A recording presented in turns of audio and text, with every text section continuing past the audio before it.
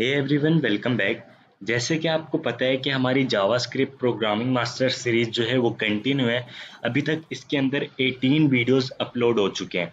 और आज का ये जो वीडियो है, ये है 19 वीडियो और इस वीडियो में हम क्या करने वाले हैं? इस वीडियो में हम पढ़ने वाले हैं प्रोमिस के बारे में।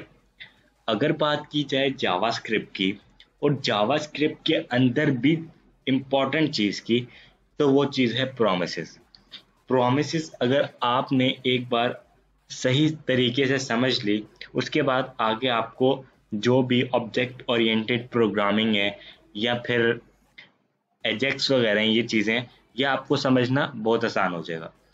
तो अभी तक इस प्लेलिस्ट को एक्सेस नहीं किया तो मैं नीचे वीडियो की डिस्क्रिप्शन बॉक्स में लिंक दे दूँगा। नीचे डिस्क्रिप्शन बॉक्स से आप प्लेलिस्ट को एक्सेस कर सकते हैं। तो बिना टाइम वेस्ट किए वीडियो को कर लेते हैं स्टार्ट और देखते हैं प्रोमिस है क्या। तो मैं अपनी प्रोग्रामिंग डॉट जे फ़ाइल के अंदर आ गया हूँ और यहाँ पर पिछले वीडियो का कोड लिखा हुआ है। और अब हम इसको कर देते हैं रिमूव पिछला वीडियो भी बहुत ज़्यादा इंपॉर्टेंट था, उसके हमने मैथमेटिक्स के साथ कैसे हमने फंक्शनैलिटी मैथमेटिक्स को यूज़ करना है जावास्क्रिप्ट के अंदर रियल लाइफ में, वो हमने देखा था। मैथमेटिक्स के साथ कैसे फैमिलियर होना है, वो हमने देखा था। तो उस वीडियो को भी लाजमी चेकआउट कीजिएगा। तो मैं वीडियो के डिस्क्रिप्शन बॉक्स में लिंक दे दूँगा, जैसे कि मैंने आपको बोला। तो मैं इसको जल्दी से रिमूव कर देता हूँ। कंट्रोल ए करता हूँ यहाँ पर। उसके बाद कंट्रोल एक्स उसके बाद यहाँ पर अब हम करने वाले हैं स्टार्ट प्रोमिस इधर लिख देता हूँ प्रोमिस तो चलो इतना लिख दिया। तो अब क्या होता है? प्रोमिस का मतलब क्या है? अगर हम सिंपल लैंग्वेज में जैसे बोलते हैं मैं आपसे प्रॉमिस करता हूँ। मैं अभी आपसे प्रॉमिस कर रहा हूँ कि कल मैं इसी टाइम पर वीडियो अपलोड करूँगा। ये मैंने आपसे एक प्रॉमिस कर ली। पता नहीं है आगे पीछे हो सकती है, लेकिन मैं आपसे प्रॉमिस करता हूँ कि कल मैं इसी टाइम पर वीडियो अपलोड करूँगा। ये हुई एक प्रॉमिस अब इस प्रॉमिस के तीन आंसर्स होंगे। तीन आंसर्स होंगे। तीन आंसर्स में ये जो प्रॉमिस है, ये डिवाइड हो जाएगी। सबसे पहला आंसर इसका होगा, यहाँ तो प्रॉमिस रहेगी कल तक, जब तक मैं वीडियो को अपलोड नहीं कर देता। कल इस टाइम तक ये प्रॉमिस जो है, उस प्रॉमिस का ये वाला स्टेज चलेगा। ये प्रॉमिस जो है, वो अभी इस स्टेज पर है। अगर कल इस टाइम पर मैं वीडियो को अपलोड कर देता हूँ तो मेरी प्रॉमिस जो है, वो हो जाएगी रिजॉल्व कल मैंने इस टाइम पर वीडियो को अपलोड कर दी वीडियो अपलोड कर दी तो मेरी प्रॉमिस हो गई रिजॉल्व अगर मैं इस टाइम वीडियो अपलोड नहीं कर सका, यहाँ तो आगे पीछे हो गई तो मेरी प्रॉमिस हो जाएगी रिजेक्ट ये तीन स्टेजेस हैं प्रोमिस के. कल तक ये रहेगी मेरी प्रॉमिस पेंडिंग पर. अगर मैंने वीडियो अपलोड कर दी तो मेरी प्रॉमिस हो जाएगी रिजॉल्व और अगर मैं वीडियो अपलोड नहीं कर सका तो मेरी प्रॉमिस जो है, वो हो जाएगी रिजेक्ट ये बात तो समझ में आ गई कि प्रोमिस के तीन स्टेजेस होते हैं। जब तक वो टाइम नहीं आ जाता, तब तक प्रॉमिस रहती है पेंडिंग पर। अगर वो टाइम आ जाता है और वो काम हो जाता है तो प्रॉमिस हो जाती है रिजॉल्व वरना फिर ऑब्वियसली सी बात है। अगर प्रॉमिस रिजॉल्व नहीं होगी तो फिर प्रॉमिस रिजेक्ट होगी। तो अब इसको लिखने का सिंटेक्स क्या है, उसको देख लेते हैं। तो मैं नीचे आ जाता हूँ और यहाँ पर प्रॉमिस जो है वो एक ऑब्जेक्ट रिटर्न करती है। तो मैं यहाँ पर प्रॉम्प्ट लिख देता हूँ। आपको समझ में आ जाए, ये प्रॉमिस नाम का एक वेरिएबल है। इसको आप प्रॉमिस समझ लीजिए। और जैसे हम ऑब्जेक्ट क्रिएट करते हैं ना न्यू ऑब्जेक्ट कर कर, उसी तरह हम प्रॉमिस को भी न्यू प्रॉमिस करके क्रिएट कर सकते हैं। और ये ये क्या रिटर्न करती है? ये एक प्रॉमिस रिटर्न करती है। और ये भी एक ऑब्जेक्ट ही होता है।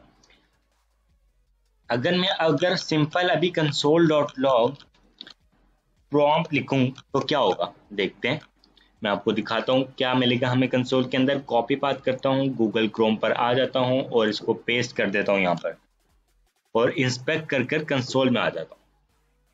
कंसोल इधर देखिए, हमारे पास आ रहा है एक एरर वो एरर क्या है? मैं आपको दिखाता हूँ, दोबारा से इंस्पेक्ट कर कर कंसोल में आ जाता हूँ।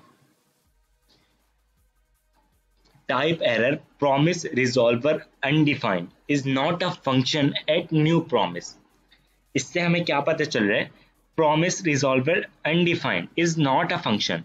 वो बोल रहा है, promise जो रिजॉल्व हो रही है वो अनडिफाइंड है मतलब उसकी नज़र में कुछ है ही नहीं।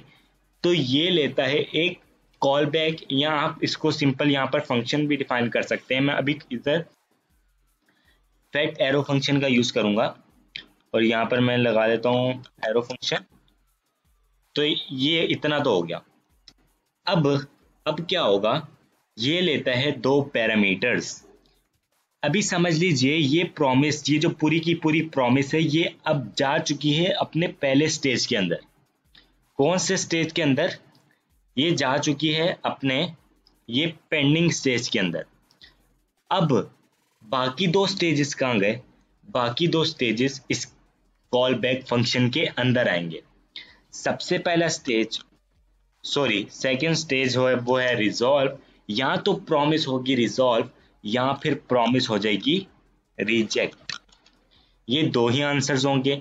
अगर प्रॉमिस रिजॉल्व होती है, और जो हमने काम करवाना है, वो हम करवा सकते हैं. अगर जो है, वो प्रॉमिस जो है, वो रिजेक्ट हो जाती है तो फिर जो एरर है, वो हमें मिल जाएगा. हम लोग अभी देखते हैं आगे इसको कैसे प्रिंट कराना है.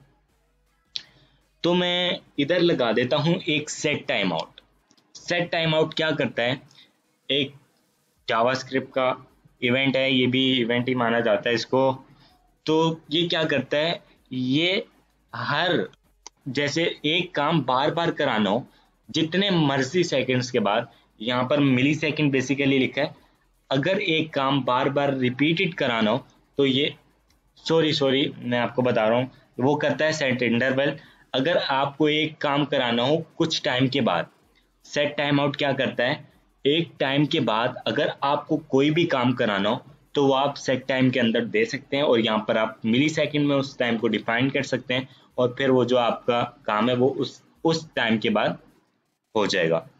तो मैं चाह रहा हूँ दो सेकंड के बाद, ठीक दो सेकंड के बाद क्या हो कि मुझे यूज़र का जो है वो नेम पता चल जाए।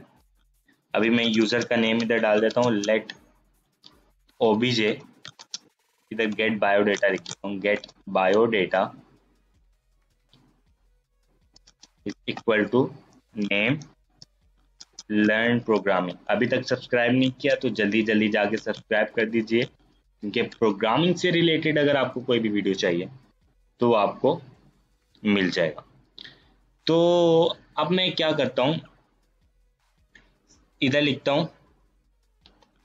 कंसोल डॉट लॉग और गेट बायोडेटा डॉट नेम सही है? और रिजॉल्व को कर लेता हूँ कॉल अब प्रॉमिस रिजॉल्व होगी तो ये चल जाएगा। अगर प्रॉमिस रिजेक्ट होगी तो फिर अभी हम अगर आगे कराएँगे तो वो भी चल जाएगा। पहले मैं इसको दिखाता हूँ, फिर रिजेक्ट वाला आपको दिखाता हूँ। रिफ्रेश करता हूँ। अच्छा। अब जो है, अभी तो वो कंसोल में कुछ नहीं मिल रहा। हमने इसको बता तो दिया, हमारी प्रॉमिस को रिजॉल्व कर दो। हमने ये कब बताया कि रिजॉल्व तो कर दो, लेकिन कहाँ पर करो? ये भी तो बताना है ना। अब अगर प्रॉमिस जो है वो रिजॉल्व हो जाती है मतलब प्रॉमिस जो है, वो फिल फुलफिल्ड हो जाती है तो हमें यूज़ करना पड़ेगा देन देन मेथड का। अगर प्रॉमिस जो है, वो हो जाती है रिजेक्ट तो हमें यूज़ करना पड़ेगा कैच मेथड का। तो अब यहाँ पर यूज़ कर लेते हैं। यहाँ पर मैं आ जाता हूँ।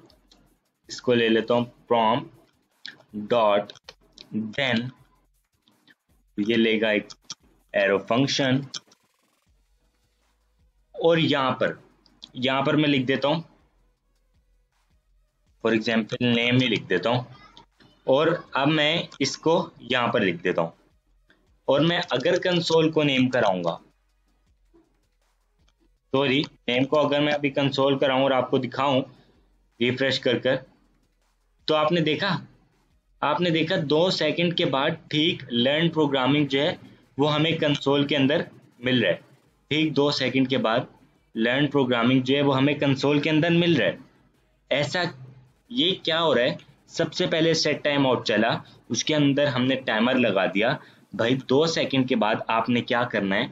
एक एक बायोडेटा नाम का एक हमारे पास ऑब्जेक्ट है, उसके अंदर एक यूज़र है जिसका नाम है लर्न प्रोग्रामिंग उसको कंसोल में आपने प्रिंट कराना है। अगर ये प्रॉमिस रिजॉल्व हो जाती है। अगर रिजॉल्व हो जाती है तो ये लेगा एक पैरामीटर और वो पैरामीटर कहाँ जाएगा? इस देन नाम के वेरिएबल सॉरी इस देन नाम के मेथड में। अगर मैं इधर कुछ भी लिख दूँ, कुछ भी लिख सकते हैं। यहाँ पर ज़रूरी नहीं है सेम होना चाहिए। अगर मैं एन एन एन लिख देता हूँ और इसको कॉपी करके यहाँ पर डाल देता हूँ और यहाँ पर रिफ्रेश करता हूँ। तब भी मुझे दो सेकंड के बाद जो है वो कंसोल के अंदर ये मिलेगा। और अगर लेकिन अब ऐसा नहीं है कि मैं एन एन लिखूँगा तो सेंस होनी बन, सेंस बननी चाहिए हर चीज़ की तो डेट मेक सेंस कि मुझे इधर नेम ही लिखना चाहिए। तो यहाँ पर मैं सिंपली नेम ही कर देता हूँ जैसे पहले था और अब मुझे बिल्कुल ठीक मिल रहा है। तो ये तो हो गया रिजॉल्व अब आ जाता है अगर रिजॉल्व नहीं होगी तो फिर तो रिजेक्ट होगी ना। अगर रिजॉल्व नहीं हुई तो फिर तो रिजेक्ट ही होगी। तो मैं इधर रिजेक्ट को कॉल कर देता हूँ।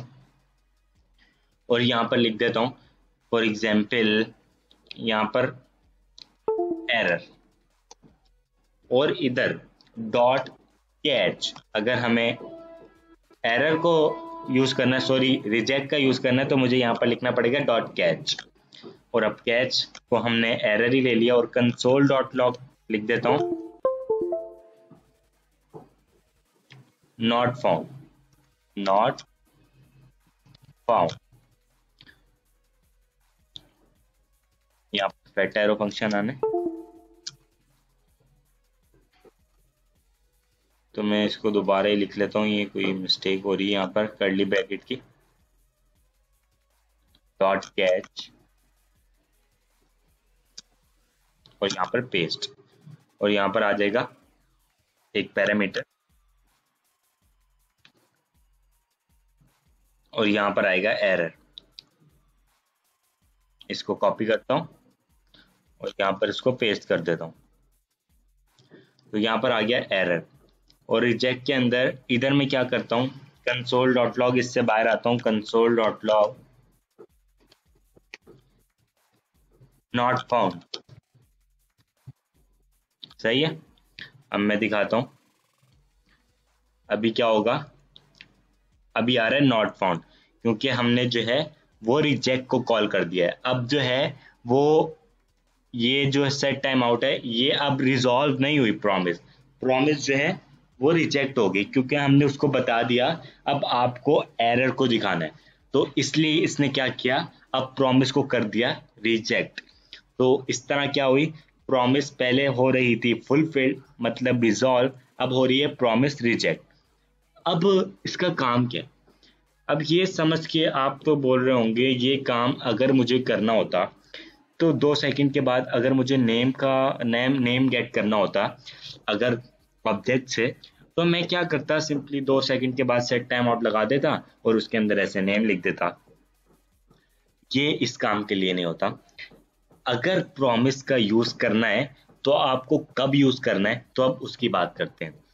प्रॉमिस को बेसिकली हम तब यूज़ करते हैं, जब हमारे पास कोई हमें डेटा को फेच करना हो, या फिर हमें कोई ऐसा काम करना हो कि जहाँ से डेटा आने में थोड़ा टाइम लगेगा और उसका हमें वेट करना पड़ेगा, तब हम प्रॉमिस का यूज़ करते हैं, ताकि प्रॉमिस रहेगी। या तो अगर डेटा मिल जाता है, जब तक नहीं मिलता, तब तक रहेगी पेंडिंग पर।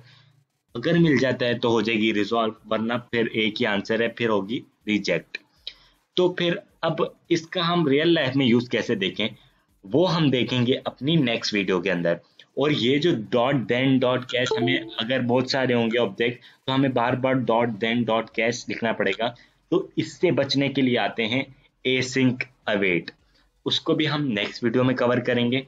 तो नेक्स्ट वीडियो देखना मत भूलिएगा, क्योंकि वो बहुत ज़्यादा इंपॉर्टेंट वीडियो होगा। ये प्रोमिस का पार्ट टू होगा, उसको आप ज़रूर देखिएगा। तो आई होप कि आपको आज का वीडियो पसंद आया होगा। और अभी तक सब्सक्राइब नहीं किया तो यार जल्दी जल्दी सब्सक्राइब कर दो चैनल को, ताकि आपको प्रोग्रामिंग से रिलेटेड सारी अपडेट्स मिलती रहें। अभी के लिए इस वीडियो में इतना ही guys thank you so much guys for watching this video and I will see you next video take video Thank you.